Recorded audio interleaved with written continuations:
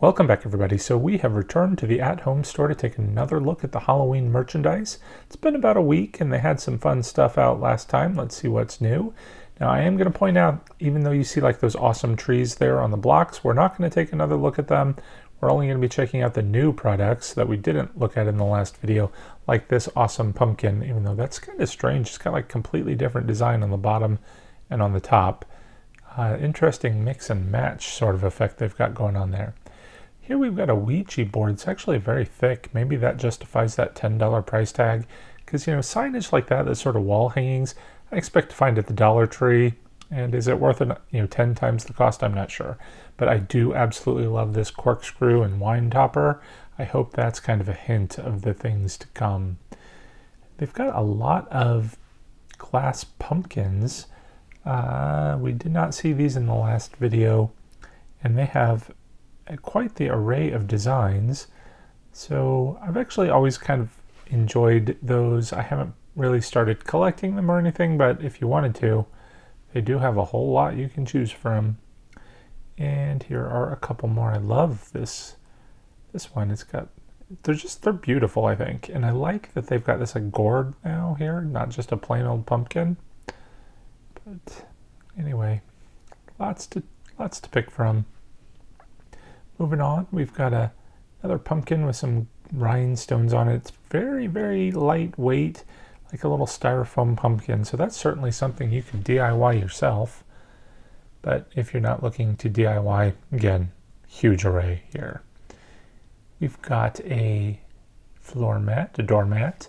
They actually usually have a whole lot of designs of doormats, so I look forward to seeing the new ones that come in throughout the season here. Another glass pumpkin that caught my eye. Wow, bit pricey, weighs half a ton, but it is pretty. All right, I don't want to keep dwelling on the glass pumpkins, but check them out if you're interested. We're going to move on. I like this haunted sign. The trees kind of remind me of Christmas trees, so I wonder if this is one of those products that they kind of just repurpose, use the same basic uh, materials to make Christmas versions and Halloween versions. But lights up. That's nice. It doesn't really have anything in the windows of the houses, unfortunately, like this trailer that you could buy, a little camper, I guess. Some cute little pumpkins. You know, if you did actually have a camper and were out camping, you could hang this outside on a little tree or something. Hopefully nobody would steal it, but um, you could light it up and see the actual things in the windows here. It looks like we had a ghost and a uh, witch there. All right, over here we've got some more signage. Dream Reader. I, I did a psychic theme in my kitchen last year. Check out that walkthrough if you're interested. But that sign would have been great. I actually like how these aren't just wall hangings. They have the uh, the little thing on the back to hold it up. Unfortunately, it doesn't look like it has a hook. So if you wanted to use it as a wall hanging, you couldn't. But ooh, a little headless skeleton there. I think he's supposed to have a head like this one. He lights up too. It's a little hard to see. It kind of glows and blinks. I don't know if that's just a weird battery fluke or not. I love pumpkins that have all sorts of writing on it. You'll see some of those in my display as well. This one's not too bad. It's got a good heft to it. All right more pumpkins. And if you'd want to do the Halloween tree this year, they're actually selling black Christmas trees. So that's kind of a, a good deal. All right, we've got a spider over here. Looks like he's got some pretty long legs. But it's nice that they're not only doing the cutesy decor, but starting to get into the typical Halloween scary stuff. And I guess I could have called it creepy stuff. Here's some creepy cloth. I guess it's not called creepy cloth here. It's Halloween. Oh, maybe I don't know what that said. Might have been creepy cloth. But I used to think that was a little overpriced, but it is much larger than the stuff that you'll get at the Dollar Tree. It's a nice little boo. It's got some garland around it too. That garland again is kind of Christmassy. And what what could that have said if it were a Christmas display as well? All right, we've got the hoedown merchandise now. I'm not making that up. That's the line, Halloween hoedown. So uh, you can get some fun country style decor, like that little light up pumpkin. Now here's some uh, bottles and potion bottles that we looked at last time. Again, I'm not going to go over that. We're just going to skip right past it and skip past some of those wreaths there. Come back to the good merchandise here. We've got a lantern that lights up. It's got a little uh, spider motif. And that skull with the beads, bad investment in my opinion, we saw in the last video, but I like this little skeleton that's popping out of the spell book. All right, moving on. We've got another tree. They've really outdone themselves with trees this year. This one looks like it's coming out of the top of a witch's hat, and it's got a really good shape to it, and it's actually got quite a heft as well. So it's not going to topple over, which is probably good if you wanted to hang some ornaments or something on it.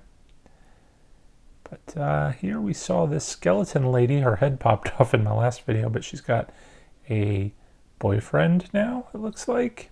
40 bucks, but you could have a pair, I guess, for $80 for your little skeleton bride and groom, maybe. Anyway, here is a little sign. The witch lives here with her little monsters, a real witch, I should say. And let's see what is up here. Oh, this is kind of cute. It's a little witch's hat on a pumpkin. So there's that. Oh, this is not the cat we saw last time. Five bucks. It's a wooden cat, not, like the ceramic one that we saw before, one-sided, but it also has that cute little shape, not just uh, well, I don't know what I'm saying, but it's cute. All right, moving on. This is actually kind of another cool pumpkin. It's a metal base with a glass top. They're really going all out with pumpkins.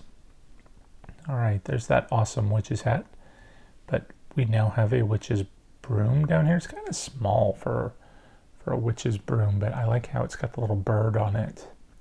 Is it supposed to be a broom or is it supposed to be like a tree? I'm pretty sure that's supposed to be a broom but I don't know why they didn't make the handle much, much longer to make it a little more realistic.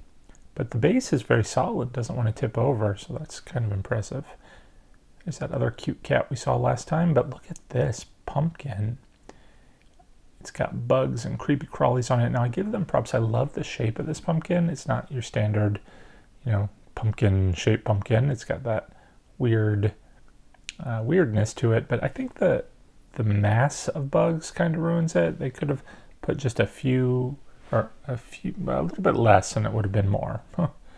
okay, so we've got a pumpkin, or pumpkin, a gnome. Can't speak today. All right, some more Halloween signage. Happy Halloween. Eat, drink, and be scary. And then, of course, boo. That's kind of cute. Put it on your mantle or something. A little bit of decor add some festiveness to the Halloween season. And hopefully, we'll get to see more of that festiveness coming soon. But for now, we've got a bit more of this uh, fall decor. I love that little lantern at the bottom. You could probably do something with that. But that kind of does it for today's visit at the At Home store and their Halloween merchandise. There's probably going to be a lot more coming up in the next week or so, so stay tuned for that. Till next time, thanks for watching Take care, stay safe, happy haunting.